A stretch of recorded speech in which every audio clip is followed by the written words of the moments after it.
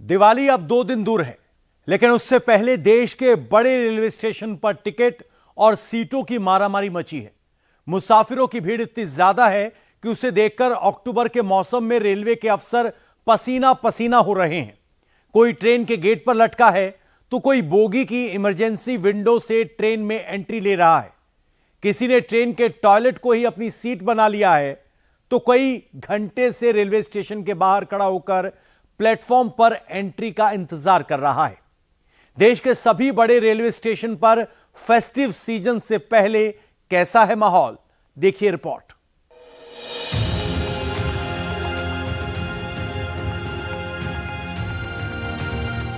Emergency जो खिड़की होती है, उससे घुस के यात्री ट्रेन के अंदर जा रहे हैं, क्योंकि इन्हें पता है कि जो ये जनरल बोगी है, उसमें इनको जगह नहीं मिलेगी। कुछ नहीं होगा। हम लोग का यमराज छुट्टी पर है। कुछ नहीं होगा। इस गाड़ी में सारे कोच जनरल कंपार्टमेंट है। सभी यात्रियों को आराम से सीट मिलेगी बैठने के लिए स्थान मिलेगा। आप सभी लोग जिनको दानापुर जाना है प्लेटफॉर्म नंबर चार पर पहुँचे। साल भर इंतज़ार करते हैं सर कमा खा के किस किस तरह से गाँव जाए त्योहार पे। इसके लिए हमें बहुत ही बेसब्री से इंतज़ार होता है पूरे साल इंतज़ार करते हैं कि कम से कम त्योहार पे तो पहुँचे टाइम से। पंद्रह घंटे का सफ़र। कितने बच्चे हैं आपके साथ लगभग? मेरे साथ चार बच्चे हैं पाँच बच्चे हैं। पाँच बच्चे हैं। क्या कर सकते हैं? बदबू है बदबू है लेकिन घर तो जाना पड़ेगा ना। रेलवे कैंपस से लेकर प्लेटफॉर्म तक। टिकट विंडो से लेकर ट्रेन की इमरजेंसी विंडो तक। हिंदुस्तान की ट्रेन नहीं, रेलवे प्लेटफॉर्म तक फुल हो चुके हैं। जहाँ देखो भीड़ ही भीड़ नज़र आएगी। कोई ट्रेन के इंतज़ार में कई घंटों से लेटा हुआ है तो कोई कई घंटे से जनरल टिकट की कतार में लगा है। दिवाली और छठ पर्व के चलते हिंदुस्तान के ज़्यादातर बड़े रेलवे स्टेशन पर सिचुएशन आउट ऑफ़ कंट्रोल हो चुकी है। भीड़ इतनी ज़्यादा है कि रेलवे का सरकारी तंत्र अक्टूबर के महीने में पसीना पसीना हो रहा है। पैसेंजर्स की भीड़ ने रेलवे के सारे कैलकुलेशन फेल कर दिए हैं। सारे रिकॉर्ड तोड़ दिए हैं। फेस्टिव सीज़न में रेलगाड़ियों की हालत ये है कि तत्काल रिजर्वेशन खुलते ही खत्म हो जाता है और जनरल विंडो की लाइन टूटने का नाम ही नहीं ले रही। रिजर्वेशन तो दो महीने पहले ही फुल हो चुके हैं। बहुत ज़्यादा दिक्कत है। देखो आप कितनी सारी भीड़ लगी है लाइन लगे हैं। हम बहुत दिन से टिकट की भी ट्राई कर रहे हैं पर मिल नहीं रहा था। पच्चीस से एक महीना हो गया होगा कंफर्म ही नहीं हुआ। अब क्या करें? जनरल में जी। और रिजेक्ट हो गया नहीं हुआ। अब जनरल में जाना होगा। एक से एक महीने डेढ़ महीना से प्रयास करें टिकट कन्फर्म ही नहीं हुआ। अब जनरल में जाना पड़ रहा है बहुत ही भीड़ चल रहा है। तीन दिन से तत्काल काट रहे नहीं मिल पा रहा। हाँ। नहीं मिला तब जनरल से जा रहे हैं। चार पाँच दिन से मैं भी ट्राई कर रहा हूँ नहीं मिला टिकट तो जनरल से जा रहे हैं। ये गुजरात का सूरत रेलवे स्टेशन है जहाँ की भीड़ देखकर सीधे कुंभ मेले की याद आ जाएगी। हज़ारों की भीड़ के बीच कई महिलाएँ फंस चुकी है। बच्चों को कंधे पर बैठाकर निकालना पड़ रहा है। सूरत स्टेशन की ही दूसरी तस्वीर देखिए, आपके पसीने छूट जाएँगे। रस्सी लगाकर हज़ारों लोगों को पुलिस वालों ने रोका हुआ है। ये सब लोग ग्रीन सिग्नल का इंतज़ार कर रहे हैं। जैसे ही पुलिस जाने को कहेगी ये पूरी भीड़ ट्रेन की ओर दौड़ लगाएगी। ये भीड़ इतनी है कि एक दो नहीं कई कई ट्रेन एक साथ फुल हो सकती है। दिल्ली के आनंद विहार रेलवे स्टेशन की हालत भी कुछ कम नहीं है। यहाँ भी प्लेटफॉर्म फुल हो चुके हैं। बिहार और पश्चिम बंगाल जाने वाली ज़्यादातर ट्रेनों की जनरल बोगी में पैर रखने तक की जगह नहीं बची है। ट्रेन के छोटे से गेट पर भी एक नहीं कई कई मुसाफिर बैठे हुए हैं। ट्रेन की इमरजेंसी विंडो को लोगों ने दरवाज़ा बना लिया है। ये विंडो ही ट्रेन का एंट्री पॉइंट बन चुका है। जिन्हें दरवाजे पर जगह नहीं मिल रही, वो लोग डायरेक्ट एंट्री ले रहे हैं। बिहार जाने वाले यात्री जैसे ही ट्रेन खुली है वैसे ही देखिए इमरजेंसी जो गेट खिड़की होती है उससे अंदर घुसने की कोशिश कर रहे हैं। गेट पे देखिए कैसी भगदड़ मच रही है। एक के ऊपर एक यात्री चढ़ के कैसे ना कैसे करके इस ट्रेन में जगह पाना चाहते हैं। ये तस्वीरें डराने वाली है। किसी भी यात्री को चोट लग सकती है, लेकिन जो स्थिति है, उसे संभालने के लिए फ़िलहाल यहाँ पे आरपीएफ की कोई टीम मौजूद नहीं है। रेलवे का कोई अधिकारी यहाँ पे नहीं है। ये ट्रेन है विक्रमशिला एक्सप्रेस, जो यहाँ भागलपुर, दिल्ली से भागलपुर जाएगी। और अब ये देखिए कैसे कैसे इमरजेंसी जो घट इमरजेंसी खिड़की होती है, वहाँ पे, वहाँ से घुस के ये यात्री अंदर जाने की कोशिश कर रहे हैं। दिल्ली के आनंद विहार रेलवे स्टेशन के सारे प्लेटफॉर्म फुल हो चुके हैं। यात्रियों के लिए बाहर टेंट लगाकर अलग से वेटिंग एरिया बनाया गया है। आनंद में यात्री अभी बाहर इंतज़ार कर रहे हैं। क्या नाम है आपका? कहाँ जाना है? बिहार जाना में रंजीत महतो नाम है। जैसे हम लोग बिहार जाने के लिए त्योहार पे बहुत उत्सुक होते हैं कि साल भर इंतज़ार करते हैं, सर कमा खा के किस किस तरह से गाँव जाए त्योहार पे। इसके लिए हमें बहुत बेसब्री से इंतज़ार होता है, पूरे साल इंतज़ार करते हैं कि कम से कम त्योहार पे तो पहुँचे टाइम से। लेकिन सर ऐसा माहौल है कि बहुत मतलब बुरी स्थिति से गुजरना पड़ता है। हमें इस स्थिति से गुजरने के बहुत मतलब दुख होता है तकलीफ़ होता है कि पूरे साल इतने मेहनत मजदूरी कर मिला है? अभी तक तो टिकट नहीं मिला है। टिकट से जाओगे फिर सीतामढ़ी? अब ये तो समय बताएगा कि कैसे पहुंचूँगा या न पहुंचूँगा। मतलब जनरल से अब जाने का विचार है टिकट नहीं कंफर्म हुआ तो अब जनरल पकड़ेंगे। टिकट है रिजर्वेशन है जाने लगा तो हमारे भाई का है रिजर्वेशन एक ही का रिजर्वेशन है? चार है। चार का रिजर्वेशन है। आप लोगों का है? हम लोग का नहीं दो आदमी का नहीं।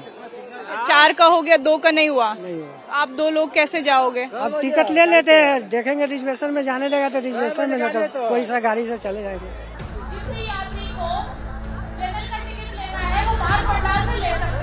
ये हालत तब है जब रेलवे बिहार के लिए एक दिन में 9 से 10 स्पेशल गाड़ियाँ चला रहा है। डिजिटल डिस्प्ले पर स्पेशल गाड़ियों की जानकारी दी जा रही है। लगातार अनाउंसमेंट भी हो रहे हैं।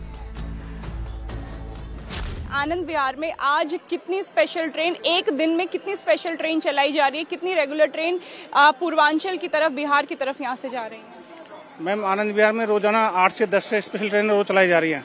जिसमें से आज हमारे पास नौ स्पेशल ट्रेनें हैं। एक दिन में यात्रियों का फुटफॉल कितना है इस समय Anand Vihar railway station football तो इस टाइम हमारे पास एक लाख से ऊपर ही। है एक दिन में एक लाख से ज़्यादा यात्री आ रहे हैं। यात्री यात्री जा रहे हैं बाकी टिकट भी हमारे बीस बीस पच्चीस हज़ार पे बीस पच्चीस हज़ार टिकट बिक रहे हैं रोज़ाना। जाना बढ़ते जा रहे हैं अभी। एट ए टाइम जो जनरल बोगी के लिए खरीदे हाँ। जी हाँ जी। सवाल ये है कि रेलवे के पूरी ताकत झोंकने के बाद भी मुंबई से लेकर दिल्ली तक गुजरात से लेकर बिहार तक पश्चिम बंगाल से लेकर राजस्थान तक इतनी मारा मारी क्यों मची है? फेस्टिव सीज़न में आखिर रेलवे का सिस्टम क्यों फेल हो गया है? आंकड़ों से समझ लीजिए, फिर आपको दूसरे स्टेशन की हालत दिखाएँगे। नई दिल्ली रेलवे स्टेशन पर सालाना तीन करोड़ तिरानवे लाख बासठ हज़ार दो सौ बहत्तर यात्री ट्रैवल करते हैं। यानी औसतन रोज़ाना यात्री भार एक लाख सात हज़ार होता है। पश्चिम बंगाल के हावड़ा जंक्शन पर छह करोड़ तेरह लाख उनतीस हज़ार तीन सौ उन्नीस यात्री सालाना आते हैं। यानी औसतन डेली फुटफॉल एक लाख अड़सठ हज़ार होता है। अहमदाबाद जंक्शन पर सालाना फुटफॉल एक करोड़ बयासी लाख साठ हज़ार इक्कीस है। डेली एवरेज पचास हज़ार के करीब है। दिल्ली के आनंद विहार का सालाना आंकड़ा एक करोड़ बाईस लाख पैंतीस हज़ार दो सौ पिछहत्तर है। डेली एवरेज यात्रा तैतीस हज़ार पाँच सौ है। मुंबई के बांद्रा टर्मिनस का सालाना फुटफॉल पैंसठ लाख नब्बे हज़ार छह सौ बावन है। डेली फुटफॉल का एवरेज अठारह हज़ार निकलता है। सूरत रेलवे स्टेशन पर सालाना यात्री भार दो करोड़ बाईस लाख चार हज़ार पाँच सौ अड़सठ है। रोज़ाना का एवरेज करीब इकसठ हज़ार है। लेकिन फेस्टिव सीज़न में सभी स्टेशन पर पैसेंजर की संख्या तीन से चार गुना बढ़ चुकी है। जिस स्टेशन का एवरेज एक लाख है वहाँ तीन लाख तक पैसेंजर पहुँच रहे हैं। जिस स्टेशन का एवरेज पचास हज़ार है, वहाँ यात्रियों की संख्या एक से डेढ़ लाख पहुँच चुकी है। हर साल दिवाली और छठ पर भीड़ उमड़ती है। सबसे ज़्यादा फुटफॉल नॉर्थ इंडिया के रेलवे स्टेशन पर होता है। तो सवाल ये है कि क्या रेलवे ने भीड़ से निपटने का कोई इंतज़ाम नहीं किया? जवाब ये है कि ऐसा बिल्कुल भी नहीं है। रेलवे ने पिछले साल फेस्टिव सीज़न में 4,300 ट्रेनें चलाई थी जिसकी संख्या इस बार बढ़ाकर 7,000 कर दी गई। यानी पिछले साल से डेढ़ गुना ज़्यादा स्पेशल ट्रेन चलाई जा रही है। इतनी स्पेशल ट्रेन चलाने के बाद भी हालात आउट ऑफ़ कंट्रोल क्यों हो रहे हैं? क्यों यात्रियों को ट्रेन में जगह नहीं मिल पा रही है? समझ लीजिए। वजह नंबर एक स्पेशल ट्रेन की जगह लोग रेगुलर ट्रेन में सफ़र करना ज़्यादा पसंद करते हैं। वजह नंबर दो, ज़्यादातर लोगों को स्पेशल ट्रेन की जानकारी ही नहीं होती।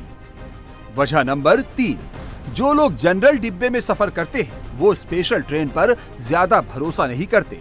उन्हें लगता है कि छोटे स्टेशन पर स्पेशल ट्रेन नहीं रुकेगी। वजह नंबर चार, लोग रेगुलर ट्रेन के टाइमिंग से स्टेशन पहुँचते हैं। सामने खड़ी ट्रेन को स्पेशल ट्रेन के भरोसे छोड़ना नहीं चाहते। लोग दौड़कर पहली ट्रेन पकड़ लेना चाहते हैं। जल्दी से जल्दी घर पहुँचना चाहते हैं। लेकिन उस जल्दबाजी का नतीजा क्या होता है, वो दौसा की तस्वीर से समझिए। फेस्टिव सीज़न में घर जाने की जल्दी में मुसाफिर ने चलती ट्रेन में दौड़ लगाकर चढ़ने की कोशिश की। ट्रॉली बैग लेकर वो लगभग गेट पर चढ़ी गया था। तभी उसका बैलेंस बिगड़ गया और वो प्लेटफॉर्म और ट्रेन के बीच जा फंसा।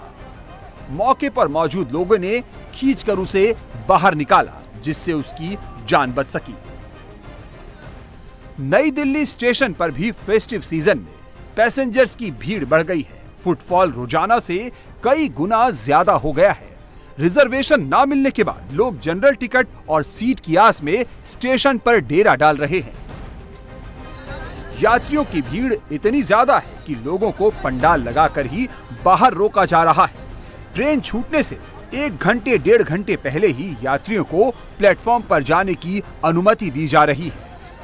मैं नई दिल्ली रेलवे स्टेशन पर हूँ और यहाँ पर भीड़ को देखते हुए जो वेटिंग एरिया है, वो प्लेटफॉर्म के बाहर टेंट लगाकर बनाया गया है, जहाँ पर जिन यात्रियों को अपना सफ़र तय करना है, उन्हें प्लेटफॉर्म पे ट्रेन आने से एक घंटे पहले अंदर जाने की इजाज़त दी जा रही है। यानी कि आप देख सकते हैं कि ये जो गेट पर यहाँ पर चेकिंग हो रही है, इस यहीं से चेकिंग करने के बाद ही अंदर जाने की इजाज़त है, चूँकि यहाँ से 11 नंबर गेट पे जाने की, जाने के लिए ये गेट बनाया गया है। दूसरी तरफ़ बाहर जो भीड़ है, वो किसी भी रूप में अनियंत्रित ना हो सके।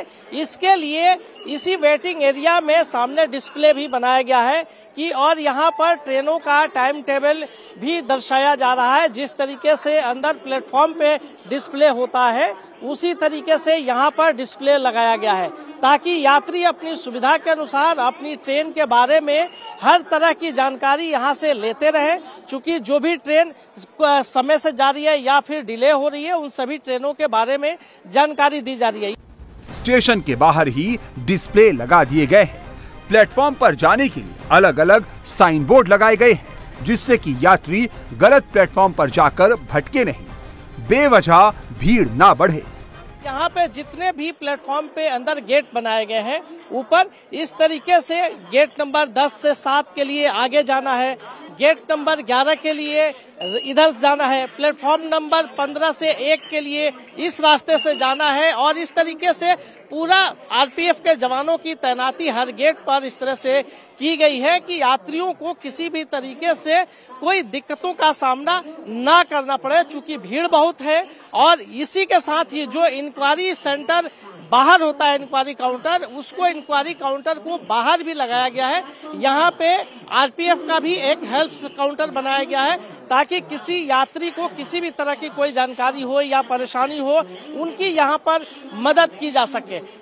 जो डिस्प्ले की मैं बात कर रहा था कि जिस तरीके से वहाँ पर डिस्प्ले बनाया गया है, यहाँ पे एक मैनुअल डिस्प्ले भी बनाया गया है कि यहाँ पर मैनुअली भी अपडेट किया जा रहा है कि लगातार हर गाड़ी के बारे में आपको बता दूँ कि पटना स्पेशल ट्रेन जो कि गोविंदपुरी प्रयागराज आरा होते हुए जाएगी, इसको शाम छह बजे जाना है। लेकिन यहाँ पर अंकित है कि ये ट्रेन चार घंटा चालीस मिनट लेट है और बारह नंबर प्लेटफॉर्म से जाएगी। देश के बड़े रेलवे स्टेशन पर फेस्टिव सीज़न में हालात आउट ऑफ़ कंट्रोल हो चुके हैं। यात्री और ट्रेन का रेशियो बुरी तरह बिगड़ गया है। शायद ही ऐसा कोई स्टेशन बचा हो जहाँ अंदर से लेकर बाहर तक भीड़ ना हो।